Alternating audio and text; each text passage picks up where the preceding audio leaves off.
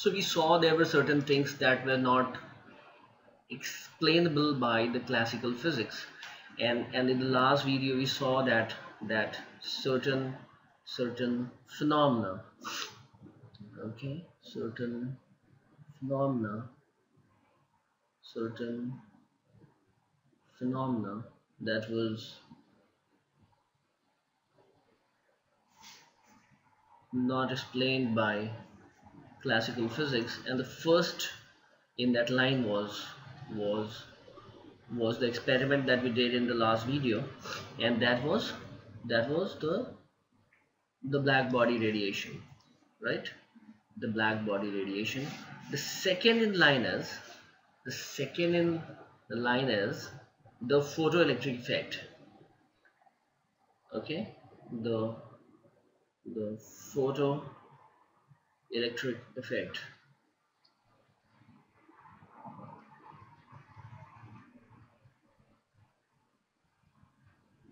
The photoelectric effect. Okay. This was also something very strange. So so let's discuss this in detail before we go ahead. Okay. The photoelectric effect. This this we did in in the last video so you can refer to that. Fine. This was also a phenomena that that could not be explained by whatever we we had known. Uh, we we told you that during the newton's time uh, it was thought that light is is a particle nature right? Particle nature. Okay. Then came the Maxwell's electromagnetic wave theory and it was found out that light was a wave and we saw that there are so many phenomena that could be explained only when we took light as a wave nature. So it went from a particle to the wave nature. And, and we were able to explain so many phenomena. Okay? Now came another. Now came another. Now came another phenomena called the photoelectric effect. Photo basically means light. Photo means light. And electric is electric is the the the production of electric current due to light right? Electric is is is electric current okay?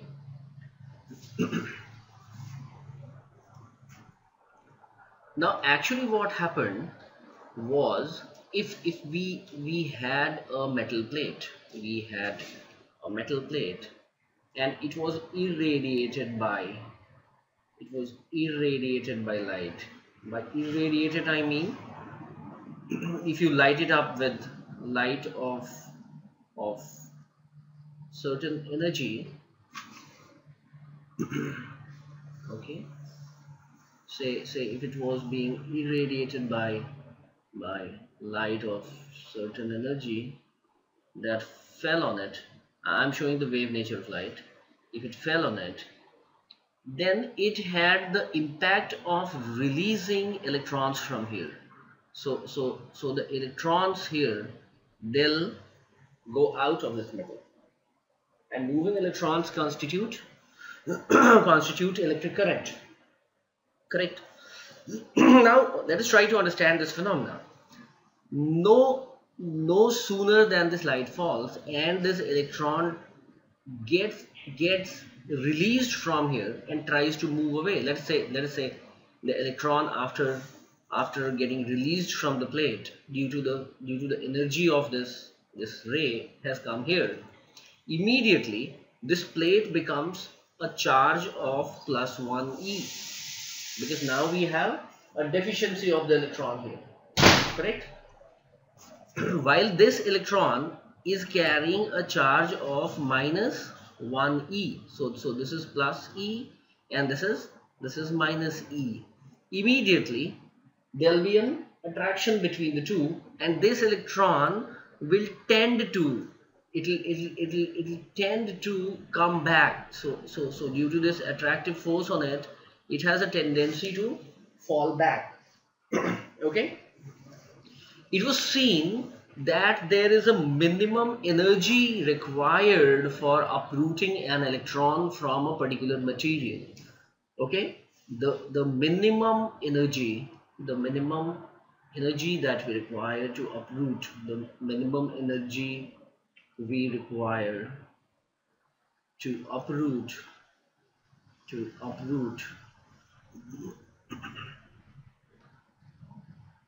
an electron from a metal plate.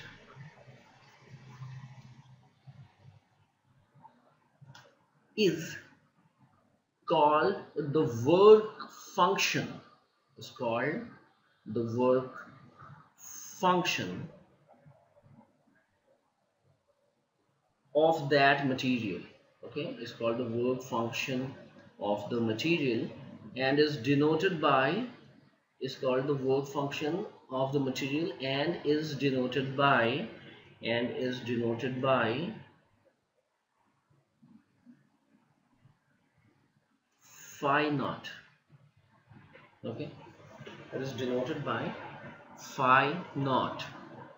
Okay? Now the experimental setup that was used. Okay the experimental setup that was used looks something like this.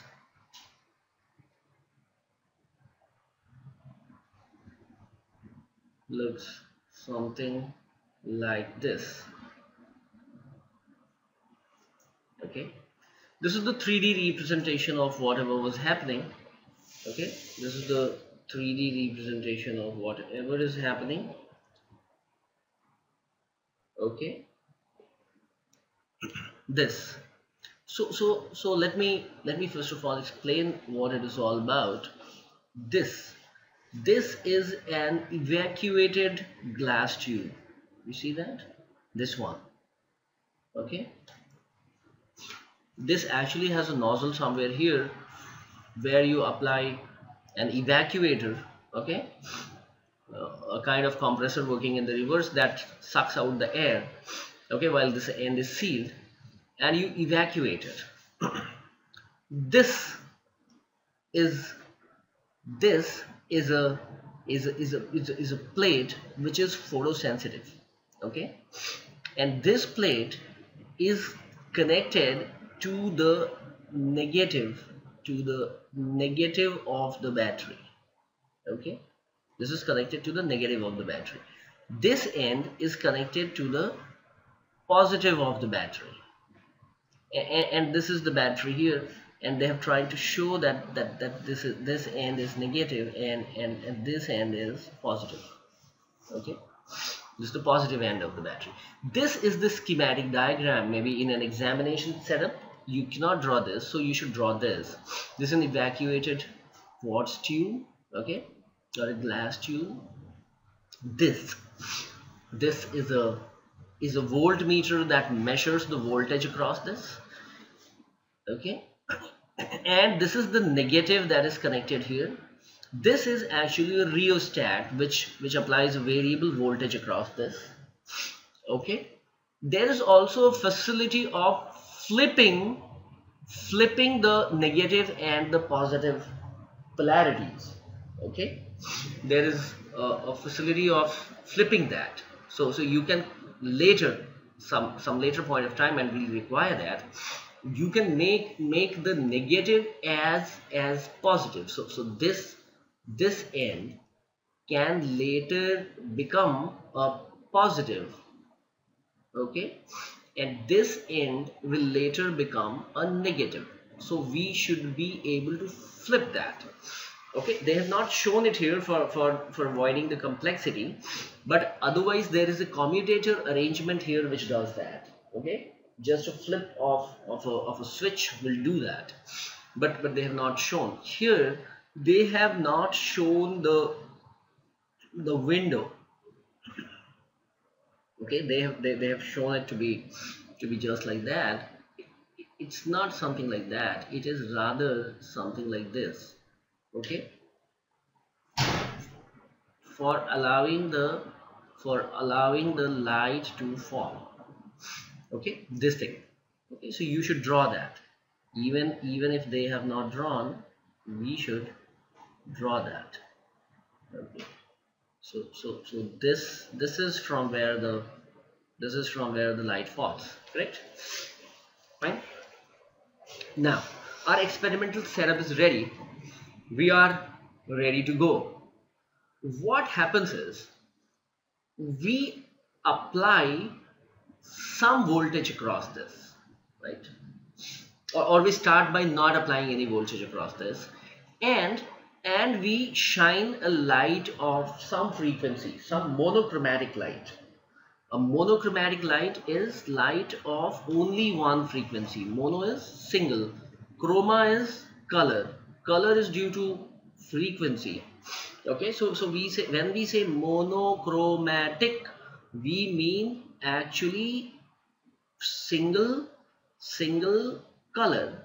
And by single color we mean actually we mean single color because chroma is color. And single color in physics means single frequency. This is a technical term. And it keep on coming across you uh, here as well as in optics many a time so you should understand so whenever I say monochromatic light I am actually hinting at a light of only one frequency. So the normal white light that we see that won't do. Why? Because it has got at least seven frequency the VIBGYOR right? So this light has to be of of single monochroma okay? The white light that we see is polychromatic many chroma. It has many colors right and and we can we can we, we can do that by dispersion. We can separate out those colors just by just by shining a beam of light on a on a on a on a prism right? Good. So so what we do is this that that, that we leave it here then we change the voltage okay? So this voltage starts becoming negative okay? This starts becoming negative and this starts becoming more positive right? Now let me name this this end A. Let, let me use a darker color. Let me name this end A and this end as B okay? Whenever whenever whenever end A is negative A is negative and B is positive we call the voltage okay? We call the voltage as positive. We call the voltage as as positive. Okay? We call it positive. Whenever whenever a is negative whenever a is is opposite to this that means a is positive and and, and b is negative we call this voltage we call this voltage voltage as negative okay? Get that? Now let's try to understand. We already know that electrons are negatively charged particles I have taken this plate as negative okay? Earlier it was zero then I have made it negative. Now if it is negative and this is positive this will repel the electrons is it not? The negatively charged plate. The moment an electron tears away due to due to the falling of the light the moment that electron tears away what happens? What happens the moment this electron tears away the red one I've shown as an electron there is a repulsion between this negative plate and the negative charge on the electron and and and this positive charge starts attracting that electron so that it actually sets on its way here. Correct? Now the moment an electron travels from here to here it constitutes a current let us try to understand. There is no material medium. Whatever air molecules were there that too we have removed. So what happens? Suddenly the electron travels for this distance in air. Is that okay? It, travels all that distance.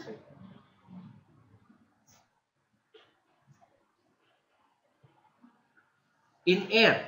Okay So all the while it travels in the vacuum and constitutes a current. Now, it might have so happened that, that the electrons, some of the electrons due to their kinetic energy might have traveled here and, and gone and stick on, on this glass. Some electrons here might have, might have gone and stuck on the glass. Now what happens as you start increasing, as you start increasing this, this the the the the current will keep on increasing right? As the voltage increases all these electrons that otherwise are getting wasted here and go, getting stuck on the glass and are not reaching this this anode this is an anode right? From the cathode they are not able to reach the anode they will not constitute a current okay? They'll not constitute a current. So as you start increasing the voltage what will happen all the all the electrons that get released from here they will go and stick to this anode. And as they do that they'll constitute a current and will be recorded by this ammeter here. Correct? So so this was sought to be captured as a graph. So what we did we will draw our first graph. And what we'll do is is is we'll keep this as this as the voltage. This as the voltage.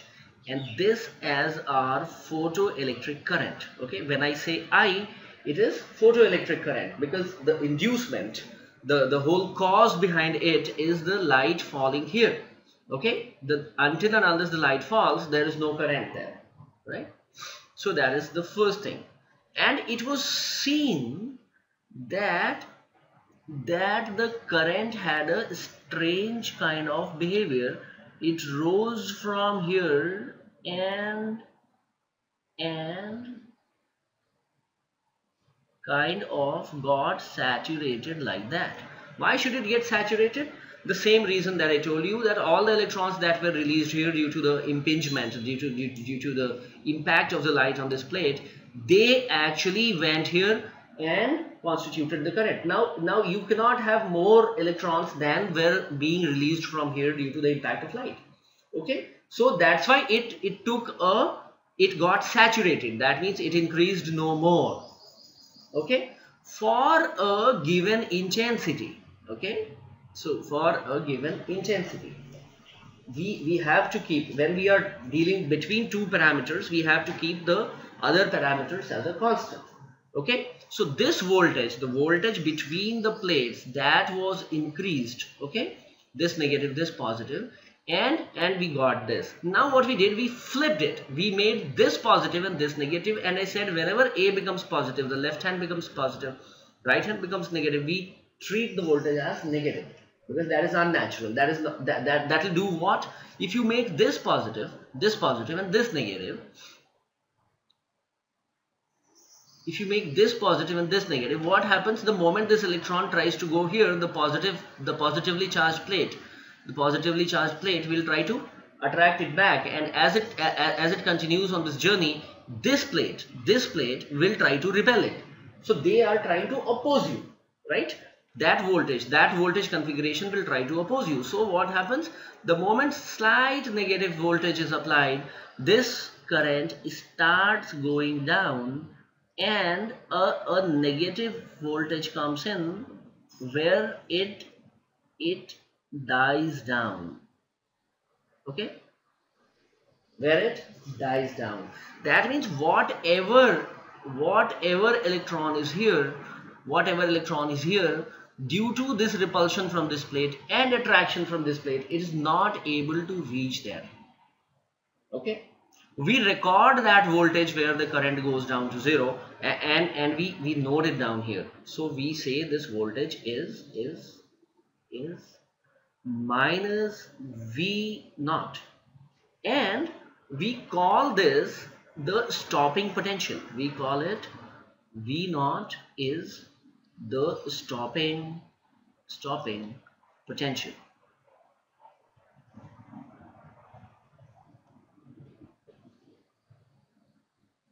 Okay. We call it the stopping potential. This is the kind of graph. Now if you had decided to increase the intensity you'll you'll see that the stopping potential remains the same at a different intensity at an increased intensity stopping potential remains the same and the graph looks something like this.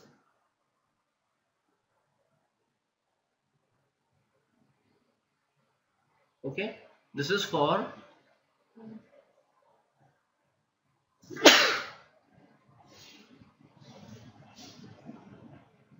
this is for I2 if I had increased my intensity further it would have gone like that and it would have become I3 okay?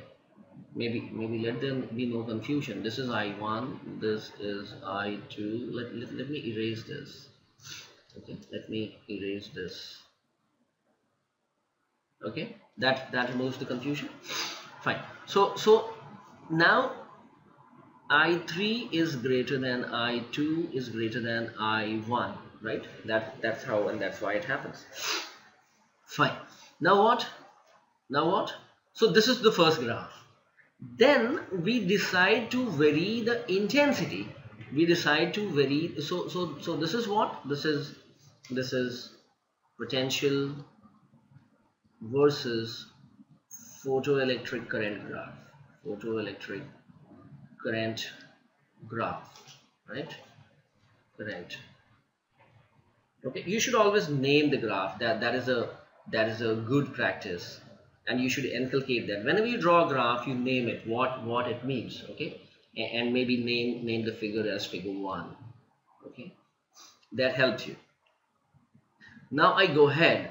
What I do I I make another plot and this plot now is between now this plot is is between the intensity. I I I draw intensity here intensity and and current here. And by current I always mean the photoelectric current. So I name this figure 2 I name this figure 2 and and say this is this is intensity versus versus photoelectric current. Photoelectric current. Okay.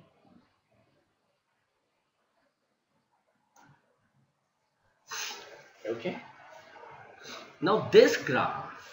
So what I do I keep the voltage the same and I keep this intensity zero. That means I do not shine any light at all.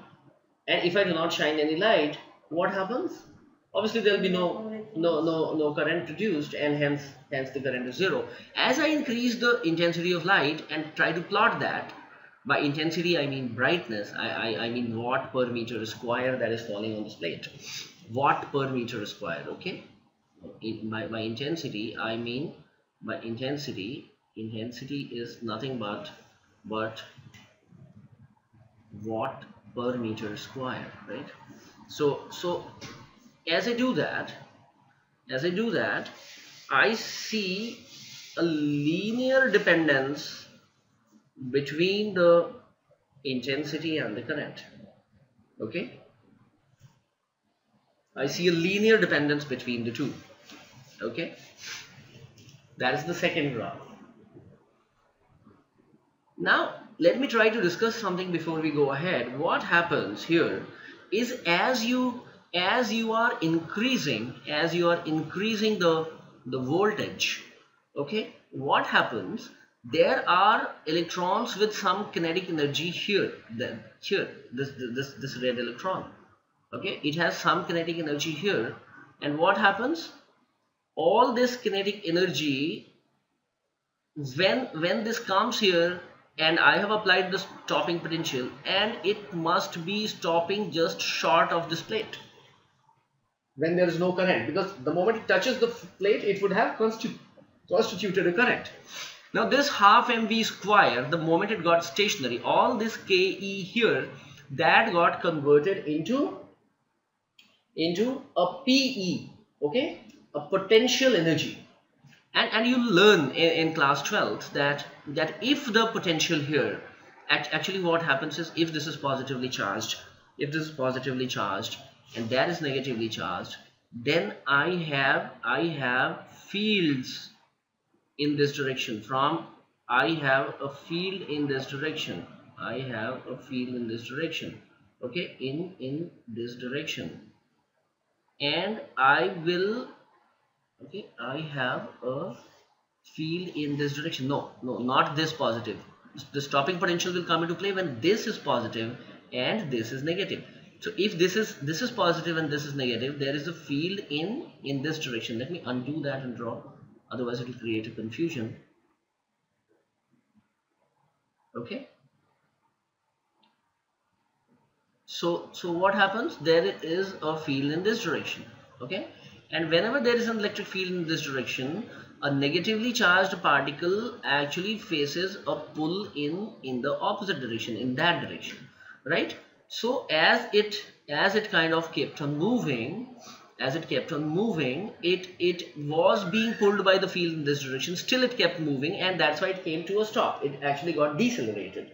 And the potential energy that that it has now after traveling through a potential difference of v naught is actually given by the charge on it that is E and the potential difference between the plates that is V naught. Mm-hmm. V naught. Okay? I, will elaborate this in, in the video that is meant for class 12 but, but just uh, here I'm just trying to tell you that. Just keep that in mind. A charge a charge that travels against the field against the field that means against the direction in which it's being pulled across a potential difference of V naught will actually have a potential difference increased by EV naught. Okay, so all this KE due to the conservation of energy got transformed into a PE. Okay, it got transformed into a PE. So that is the second thing. Now we do the third experiment and and what we do this time is I I try to keep the intensity the same okay? So I try to keep the intensity the same and try to vary the voltage okay? For the same intensity I keep on trying keep on changing the voltage right? Um, no I, I, I'm sorry I'm sorry. I'm sorry. I'm very very sorry. Here when, when we conducted this experiment here we we kept our our frequency constant right? What did we do? We varied the voltage. We also kept the intensity as constant. Intensity constant. And what we what did we vary? Voltage variable and current variable. Okay so we actually plotted it between v and i. In this what did we and and we took one whole graph for one particular intensity then I changed the intensity. So each of these lines correspond to a particular intensity right? Now I come here. What do I do? I keep the voltage constant. I keep the voltage constant. I keep the I keep the I keep the I keep the the frequency constant. I vary the intensity intensity variable and and and the corresponding current I, I I note. That also is variable right?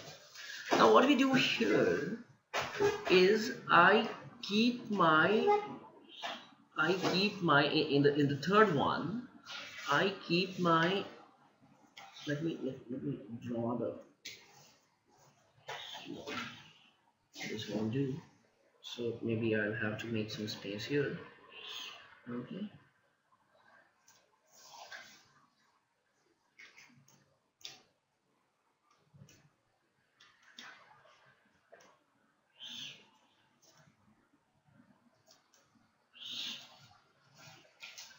I'll make some space here.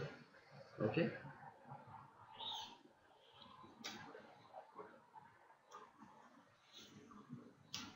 I'll also kind of bring this graph here otherwise I have to constantly keep on going back and forth right? So So, so now what am I doing here? Here I'm I'm keeping my I'm keeping my new a constant intensity a constant okay and I'm varying my voltage voltage and I'll correspondingly I'll, I'll plot the current okay. Now what happened and it is interesting to see what happens here so so this is voltage. This is the voltage. And this is the current. Now what happens if I take the if I take the light of some intensity then I see the current going like that and it saturates right intensity mind is constant. This is for a particular frequency nu 1 I have kept the frequency constant throughout right? Then I kind of change my frequency. I make it higher. Then I see this this was my stopping potential right? Then I see that my stopping potential increases. My stopping potential increases and it becomes something like that this is nu 2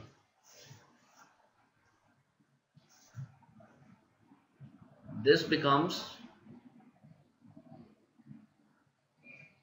nu 3 okay?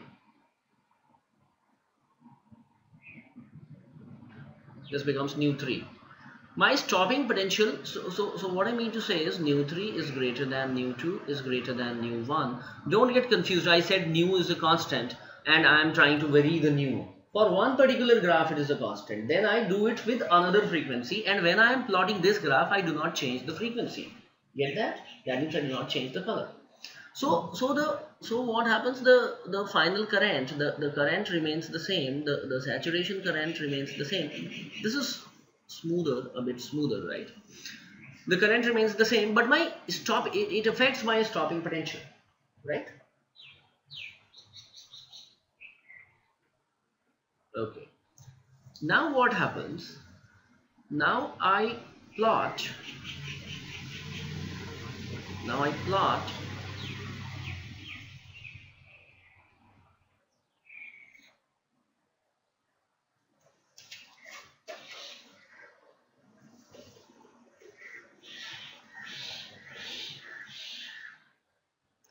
I plot frequency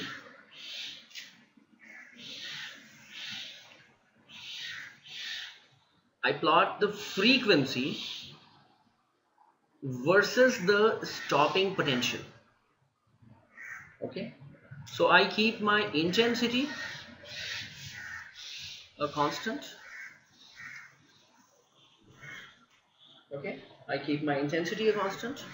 I keep my I vary my frequency. I vary my frequency. I I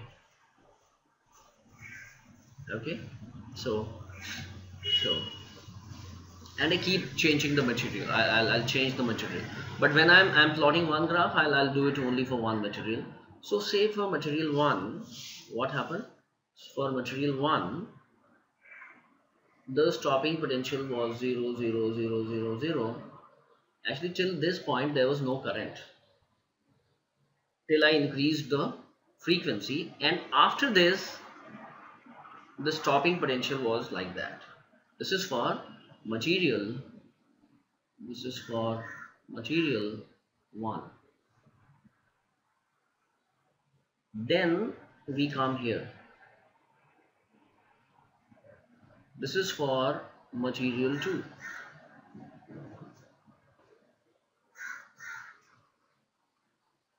this is for material 2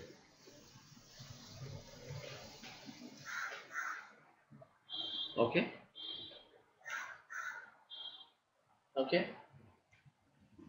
So what happened? As we started increasing our frequency the the stopping potential also kept on increasing. That means in a sense we are drawing you know what? You know what are we drawing? We are drawing this. There was a stopping potential there, there was a particular frequency here versus stopping potential. Second frequency versus stopping potential. Third frequency versus stopping potential. And we saw it to be a straight line. Okay? Now there is a problem with all these graphs. And they cannot be explained with the help of with the help of the classical theory of wave uh, of wave mechanics. Okay? The wave came as a sudden respite and it explained so many things. It was the new fashion. But still it was not able to explain this. Now the first thing that it was not able to explain was was that this whole thing wave could not could not explain these. The first thing it could not explain was that that there is a there is a I'm sorry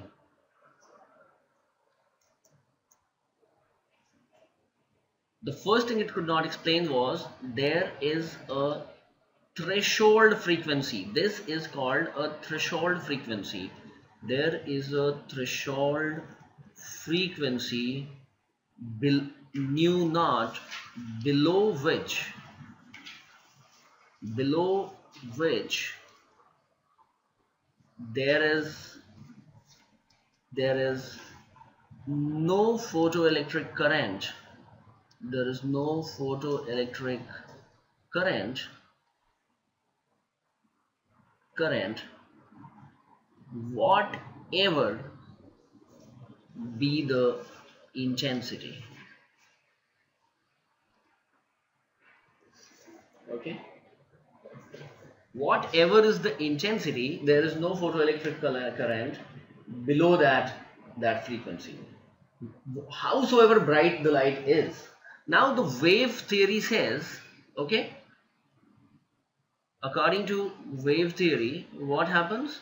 Your energy energy of a wave is directly proportional of a wave is directly proportional to the amplitude square okay?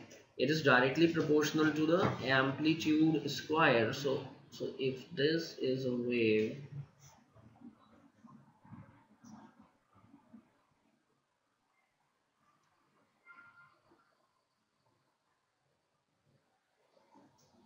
then then this is called its amplitude.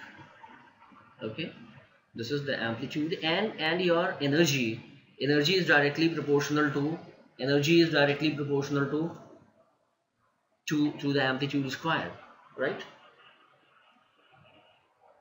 It's directly proportional to the amplitude square. So so if i am and and energy that is the intensity. Now what happens? If i am increasing the intensity its energy should have increased. Then why is it not able to uproot an electron? That was not explained. Why should there be a threshold frequency? Then what happened? if we calculated everything that all that fell on a metal plate here it, it, all fell on a metal plate here and there are so many electrons in that that and it, it went up to the depth of say 5 to 7 atoms then then the the time required the time required to uproot an electron to uproot an electron is seen to be in nanoseconds okay? What do we mean to say? Only 10 to the power 10 to the power 9 seconds okay? This is what is seen while from if I calculate if I calculate through the wave theory from wave theory from wave theory it should take should take should S H O U L D okay S H S H O U L D should take about 10 hours absolutely inexplicable okay why why that is happening then you see we we just told you that this stopping potential is a measure of the kinetic energy of the electrons. I told you that half mv square is equal to ev naught. Get that? It is equal to ev naught. If that is the case, okay, is ev naught. If that is the case, then then then my my kinetic energy you see as i increase the frequency my kinetic energy is um, uh, i'm uh, the, is increasing so i'm saying that the, the third observation is that my my ke is is directly proportional ke of the uprooted electrons right ke ke of of ejected electrons of of ejected electron is directly proportional to the frequency is directly proportional to the frequency. This is what we are observing. While here only we saw that energy that is energy is is contained in the amplitude which is the intensity. So actually from wave wave increasing the intensity increasing intensity should have should have increased should have increased the the ke of electrons and by ke of electrons we means nothing but the stopping potential that is stopping potential. Okay now what do we see? What do we see? Let's come to this this graph here and let's come to this graph here. As we kept on changing the intensity did my stopping potential change? No it remained the same. No? While according to the wave theory it should have changed. It should have changed here and it should not have changed here you see it should not have changed with frequency frequency had nothing to do in, in the in the wave theory here it should not have changed and there it should have changed. What has happened is the reverse of what we were expecting. For the frequency it has changed and for the intensity it has not changed. That is weird, right? And all of these are not explained by the wave theory. Understand? The classical mechanics absolutely fails. Then how is it resolved? Here comes Einstein. Okay? He, he lands and answers something that resolves all these issues and you have a completely new picture of how light interacts with a with a with the material okay and how it behaves while it is interacting with the material